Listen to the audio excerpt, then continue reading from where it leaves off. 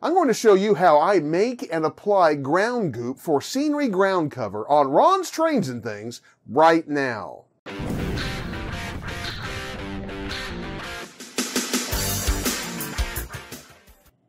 Hi, I'm Ron of Ron's Trains N Things, and if you'd like to see more model railroad tips, tools, and techniques, then be sure to subscribe down below and click that little bell icon so you can catch future videos.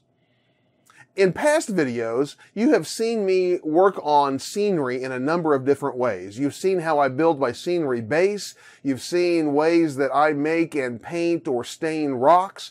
You've seen me applying different kinds of ground cover and applying trees. Well, today I'm going to try a new process that's been around for a very long time, but it's new to me. It's the first time that I've used it. And that is I'm going to be using ground goop.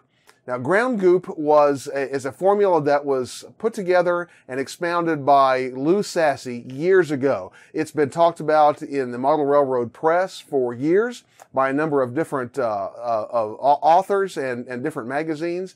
And there are a lot of people who use variations of ground goop today. I'm going to be making some ground goop and showing you how I apply it today. And the reason why I want to use ground goop on the mountain scenery behind me is because what I have now is plaster that is painted. And the problem is when I drill to plant trees into that, I get all that white plaster coming up and then I have to cover that up or, or remove it some way from the layout. By using ground goop, as you will see, uh, the ground cover itself has color to it so that whatever I drill into it, whatever may come out or whatever may show through will be the same color as my ground color. And that is really, really valuable. Now, you're going to want to stick around to the end of this video because in the end of this video, I'm going to have some special announcements that you're going to want to hear, including one about a giveaway that's coming up on my channel. So you want to make sure that you stick around and catch those announcements. Now, let's get over to the workbench and start making some ground goop. Before we mix up some ground goop, let me go over the recipe for ground goop. Uh, what I'm going to mix up today is very, very close to Lou Sassi's original recipe uh, with just slight modification. Uh, but let me tell you a little bit about it. Uh, the first ingredient to our ground goop is celluclay. Uh, now, celluclay, some of you are familiar with, uh, many of you are with Sculptamold. Uh, and Sculptamold, of course, is a paper mache material with plaster mixed in with it, and you can make uh, a nice um, plaster kind of a substance that you can do uh, scenery work with, Sculptamold, and it has a long working time and then it, it gets nice and hard. Celluclay has the same kind of paper mache type of, of base to it, but it's just that recycled paper uh, ground up very fine. It doesn't have any plaster in it. By the way, these first two ingredients uh, can be found on Amazon. And if you check out the description down below, my pick of the week, I will include links to celluclay as well as to the second ingredient, which is vermiculite. Now, celluclay you can probably find in art stores as well. It's kind of an art making project uh, type of material. Uh, vermiculite, uh, again, I'll have a link to it uh, where you can get it on Amazon in the picks of the week down below. But you you find vermiculite in gardening centers. Uh, it is actually uh, mixed in with soil to help keep soil loose and help keep it holding moisture. If you buy potting soil, you notice a lot of times the little white uh, things that are in the potting soil and some granular stuff, that is vermiculite. And uh, vermiculite specifically has that purpose of keeping things from getting too compacted and, and keeping them loose. Um, in addition to that, you're going to mix in uh, the color of, of uh, paint that you use for your ground cover. Now, the area that I'm going to be working on uh, with this particular batch is going to be in my mountain area. Uh, if I were working in my flatlands uh, part of my layout in, in my Texas area, I would use this color right here, which is a tan color. This is actually a Valspar. It's called Indian Moccasin. You can kind of see the color right there. Working in my mountains, uh, I actually mix this tan color with a gray, uh, also a Valspar color. Uh, this is called quarry gray and a stone quarry gray. And what I mix is I mix about three fourths uh, tan with one fourth of the gray for the ground cover in my mountain area. So I'll be mixing those together. Uh, but whatever you use for your ground cover, the, the color is what you're going to want to mix in here. Um, and then in addition to that, you're going to use some glue and specifically you want to use white glue and uh, we're looking at Elmer's products here. There are other brands, uh, but you want to get something that's similar to Elmer's Glue All. Uh, now, Lou Sassi in his recipe, as I've seen it, says specifically on it, do not use school glue. Uh, I, I, did a little research because I wanted to know why. I always kind of thought school glue was basically the same as glue all, only a little more watered down. What I discovered is that that's not exactly the difference. Uh, school glue is made to be washable so that if kids get it in their clothes or in their hair or whatever else, uh, it can be washed out even after it's dry. School glue, if you get it wet, uh, it will soften up and it will wash off. Glue all is uh, uh cleans up with water. It's water soluble, uh, but whenever it dries, it is water resistant. Now it, it can eventually be softened and, and, and cleaned up with water, uh, but it doesn't completely dissolve again like the school glue will. you can actually, if you're careful, you can you can wipe down and, and wash joints that have glue all, they're much more water resistant.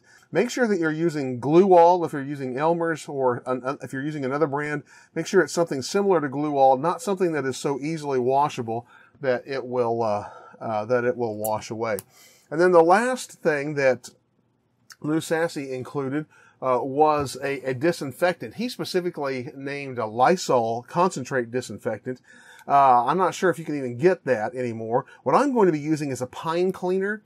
Uh, now, the purpose for this is if you're going to be storing your ground goop for any period of time, you don't want it to mold or mildew. Uh, and what you want is you want some sort of a cleaner that has something in it that is a disinfectant that will help uh, control mold or mildew in the bowl.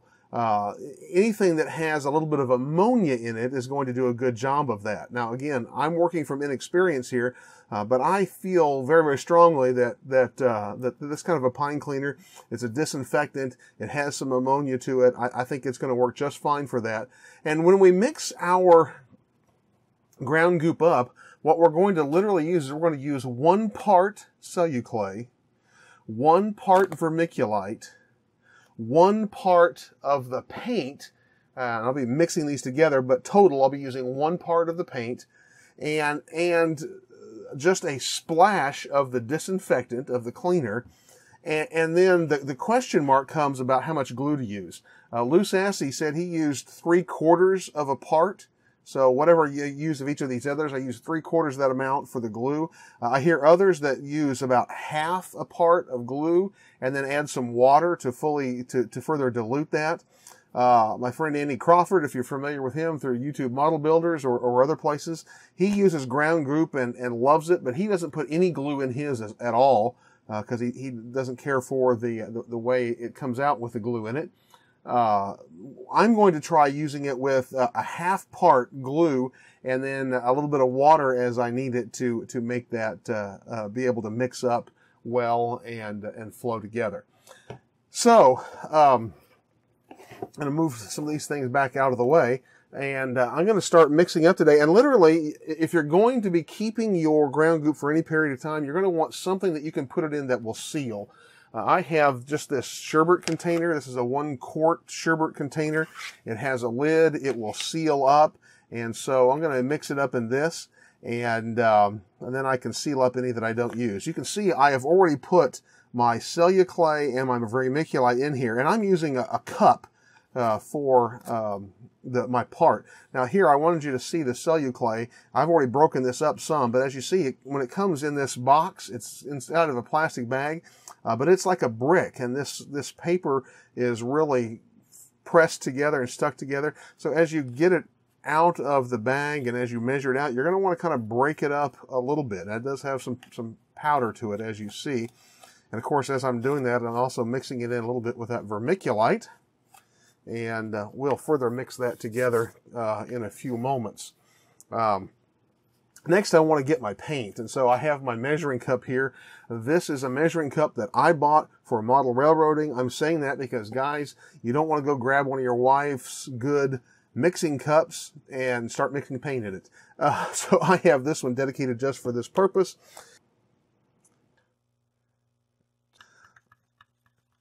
Okay, and then I'm going to just literally pour that. That's one cup. That's the same amount as I used of both the celluclay and the um, vermiculite.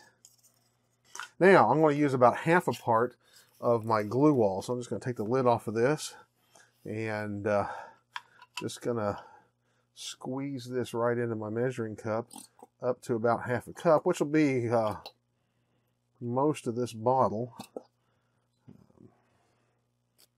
I'm going to add that in here. Looks delicious, doesn't it? And then finally, I want just a little bit of this cleaner. Uh, and they say use a cap. Now, this has got a pretty small cap, but I'm still going to use it as a guide. But since it's so small, I'm going to put probably two of those little capfuls, just enough to get that disinfectant through it. Um, of course, that pine cleaner, it has that, that piney ammonia smell to it, so it's kind of got that nice odor.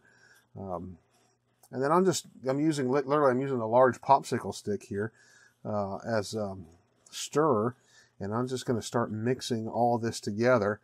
You want it uh, to be a, you know, a, a somewhat thick clay-like uh, consistency, but you also want it to be thin enough that you can spread it. So, uh, you know, I don't want it overly thick. And this is getting pretty thick as I'm mixing it. I think I am. I'm going to add just a little water. This is just my paint uh, cup that I wash my paint brushes out in. I've got some clean water, or as clean as it could be, that cup uh, in it. Add a little water just to help mix this up. Now, I'm going to go on the advice of my friends who use this, and several of them have said that the best way to use ground goop is to mix it up and then let it set at least overnight. Um, that will just allow all of the moisture, the paint, everything to fully uh, permeate its way through all of that paper mache material and, and, and everything just to soak together. They say mix it up really, really good, then let it set overnight and then come back and kind of mix it again before you use it. In fact, I've had uh, a couple guys say it's really best even if you let it set for several days sealed up before you use it. From what I was expecting, this is about the consistency I was looking for. Um, and it's going to give you a nice ground consistency. Of course, you can smooth it out as you put it on. But the color for uh, for my mountain section, this color is perfect. This is exactly the color I was looking for. I'm going to take my lid and put my lid on it really tight. And I'm going to let that sit overnight. And then tomorrow we'll come back and we will put some of this on the layout and see how it works. I'm back now, uh, and this has actually been sitting in this bowl for 48 hours. So it should have had plenty of time for all of the paint and all of the liquids to, to fully permeate all of the other materials. And you open it up here and you see it looks pretty much like it did. Um, it's a, a, little thick, and of course I can add a little water to this to, to soften it up a little bit. I have a feeling this sherbet container is not as airtight as I'd like. So uh, if I have some of this left to save, what I'm actually going to do is put some saran wrap over this and then seal the, the lid on top of it, and that should help make it more, more airtight. Uh, but we're going to take this out to the layout and see how we put it on uh, an area of the layout. And I'm going to use two different ways of putting this on the layout. Uh, for the most part, I'm going to just put it on by hand. I'm going to use a nitrile glove and uh, just kind of smooth and slather this on. And I think by getting just a little moisture on the glove and, and uh, and, and rubbing it, I can get a real good smooth surface. Uh, getting up close to things like, like rock details and other things, uh, I've also got an artist spatula that I can use for getting in really close to those areas uh, without getting a, lot of this material all over those areas. So uh, let's go on out to the layout and see what it takes to get some of this uh, put uh, on my scenery base. This mountain here is going to be the first area that I attempt to use the ground goop. And I've got uh, my, my bowl of ground goop right here. And uh, I've got my nitrile glove on. I've got my spatula handy and a little bit of water. And uh, the first thing I'm going to do is I'm just, just going to grab a bunch of this ground goop and I'm going to just start applying it here in the center just by rubbing it on. I, I want to put on a layer of this that is about an eighth of an inch thick. And what I'm discovering pretty quickly here, as I suspected, is that my ground goop, as I let it set, some of the moisture has kind of dried out of it. Uh, it's a little thick. Uh, think that we'll want to come back and add some water to this at some point.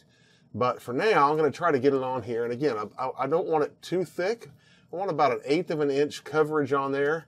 And uh, what I'm going to do is I've got a little bit of water down here in a cup. I'm just going to dip my glove in that. And as I rub that a little bit, I think I can help make that smooth out um,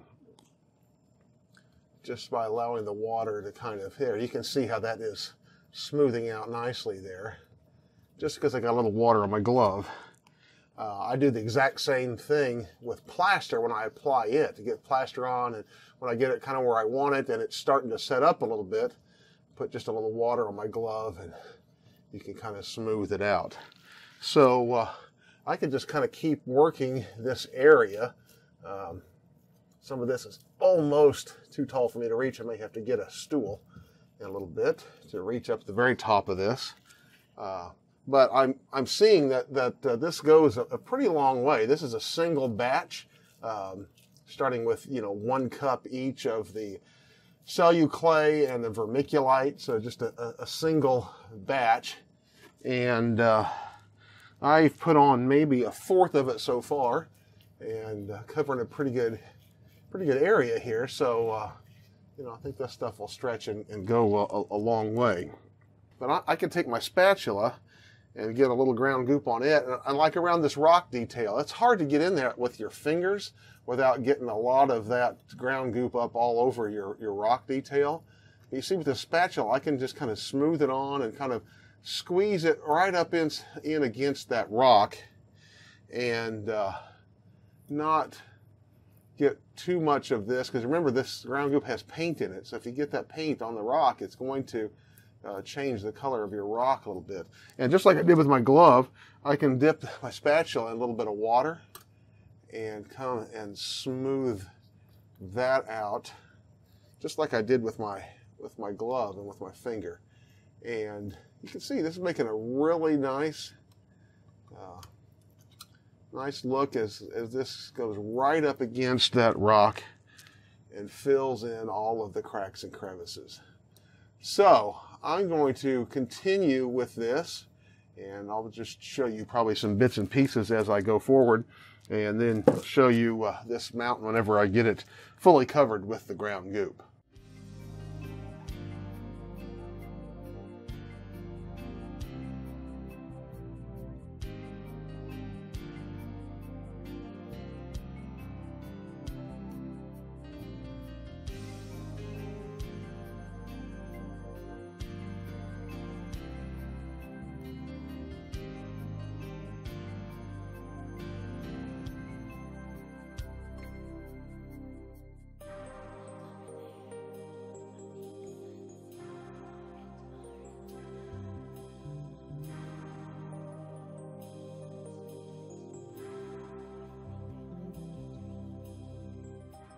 And there is my ground goop applied to, uh, to the top of this particular mountain.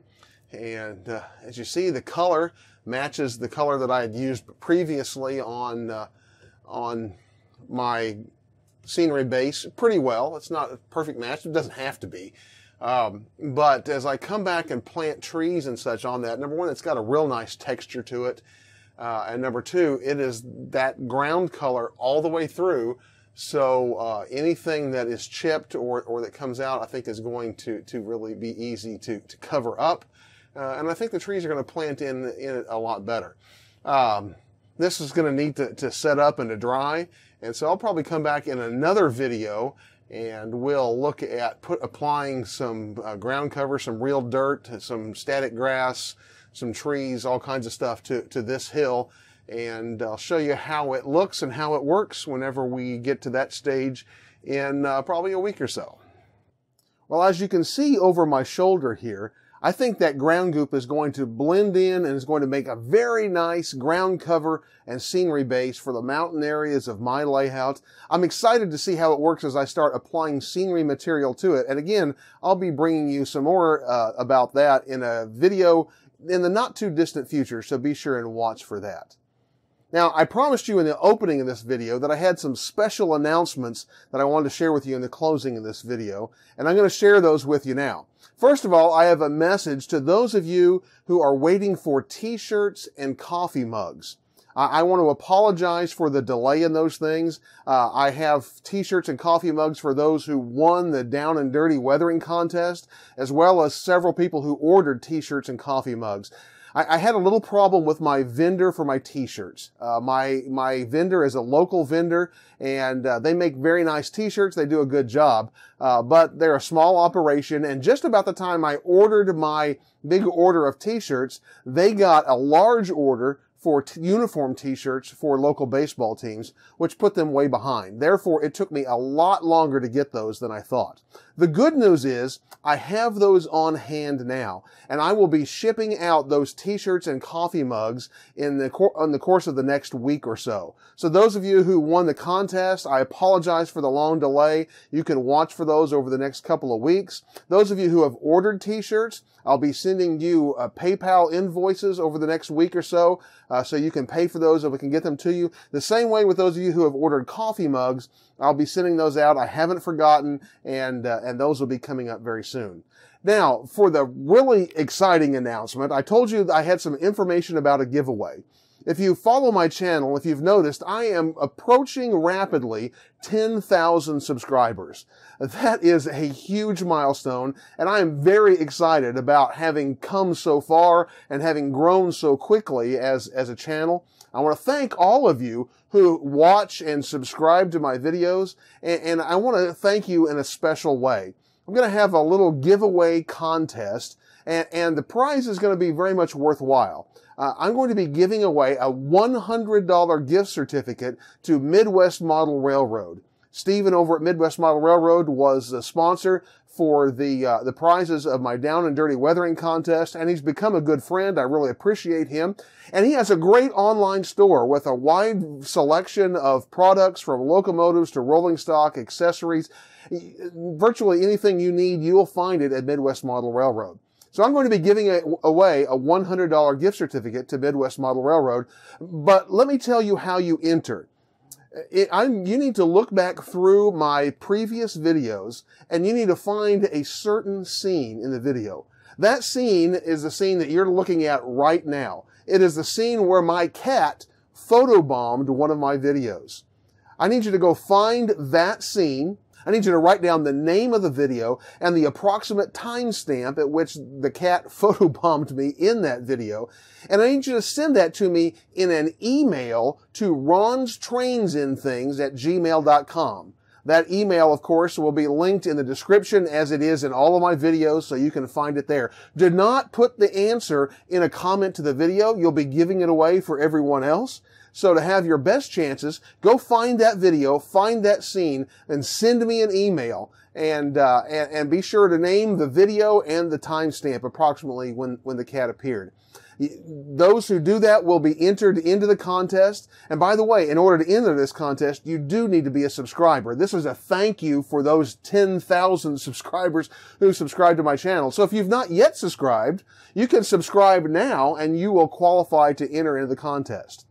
Now, this contest has a deadline, but it's a soft deadline.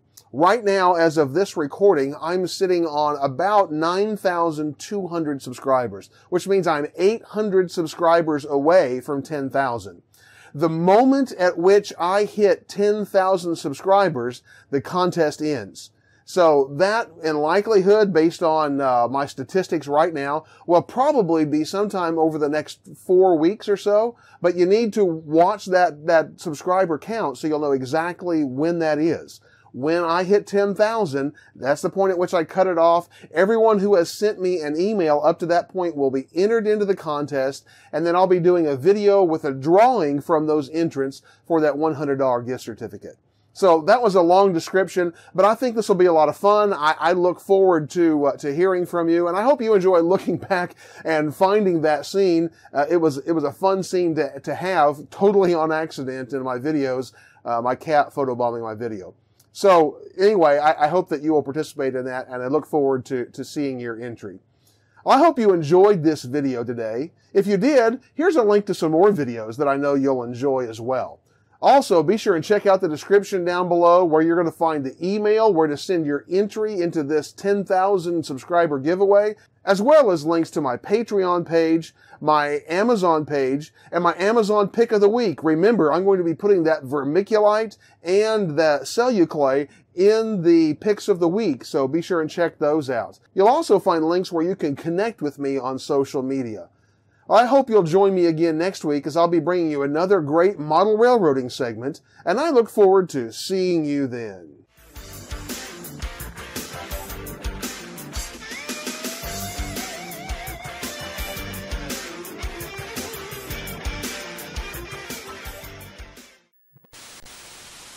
Ten, Lizzie?